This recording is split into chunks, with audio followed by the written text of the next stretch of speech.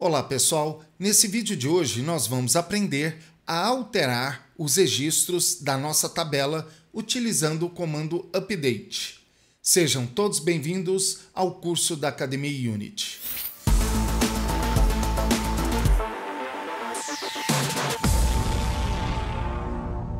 Para você mudar dados, ou seja, alterar informações de uma coluna em uma linha dentro de uma tabela no SQL, nós utilizamos, como eu disse, o comando update.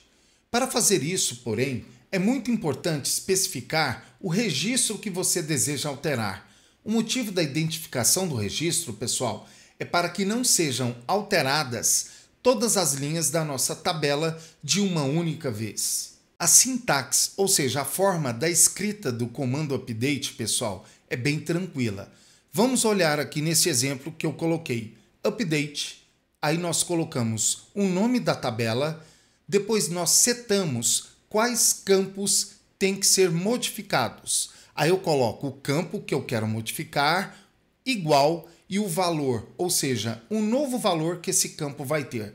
Se eu tiver mais campos para poder alterar, eu tenho que utilizar aqui a vírgula e colocar os demais campos com seus novos valores depois do igual. Eu tenho aqui uma palavra que se chama where, ou seja, onde terá uma condição que vai fazer com que esses campos aqui sejam alterados.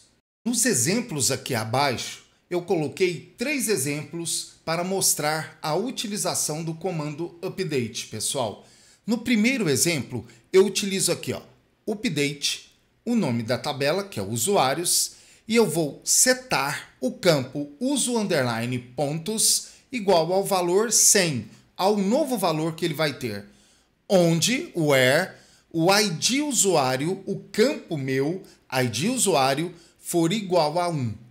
Quando eu executar isso daqui, ele vai procurar o campo que tem o ID usuário com valor 1 e vai alterar os seus pontos para o valor 100. No segundo exemplo, pessoal, eu tenho aqui update usuários, que é a minha tabela, e aqui eu estou setando o valor. Uso underline nome igual ao Stuart e coloquei o apóstrofo, ou seja, as aspas simples para delimitar o valor alfanumérico.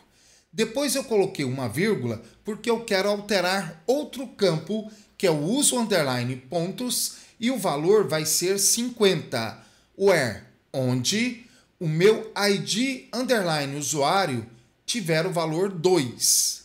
Isso aqui é muito bacana e vocês vão ver isso funcionando. E por último, eu tenho aqui uma situação que é o seguinte: eu não especifiquei uma condição para alterar o meu campo uso underline pontos dentro da minha tabela usuários. O update aqui, pessoal, vai pegar todos os registros dessa tabela e vai setar o campo uso underline pontos com valor 65, independentemente de qual valor tenha registrado no campo. Agora, na prática, eu acredito que vocês vão entender isso daqui com muita facilidade. De volta ao nosso DB Browser for SQLite, nós temos o nosso banco de dados AU aberto. E nós temos a nossa tabela aqui com os campos que nós colocamos nas aulas anteriores. Dentro da navegação de dados, nós inserimos aqui algumas informações como o nome, e-mail, a senha e a pontuação. O que, que nós vamos fazer aqui? Nós vamos executar o comando update para alterar algumas informações. O primeiro update, pessoal, olhem só, update de qual tabela? Usuários. Vou dar um Enter. Eu vou fazer o seguinte: qual campo que eu quero mudar o valor? 7. Aí eu coloco uso underline pontos e vou falar que o novo valor vai ser 100. Agora, como que isso daqui vai acontecer? Através de qual condição? Onde? Aí eu escrevo where Vou dar um Enter e vou colocar aqui, ó, ID usuário igual a 1. Pessoal, quando eu clicar aqui executar a minha instrução SQL, automaticamente ela vai ser executada. Eu venho aqui na navegação dos dados e olhem só o valor aqui setado agora, 100. Porque o ID usuário é 1 e o valor que eu quis alterar, o campo, é o uso underline pontos e eu coloquei o valor 100. Para que isso daqui seja executado desta forma corretamente, pessoal, a execução aqui do SQL tem que estar desta forma aqui, tá bom? Vocês podem fazer uma indentação aqui se quiser, para ficar mais interessante. Não se esqueçam disso. Agora eu vou criar um outro update. Então eu vou clicar aqui, ó, abrir aba. Eu vou escrever agora o próximo update que vai alterar duas informações, dois campos através de uma condição.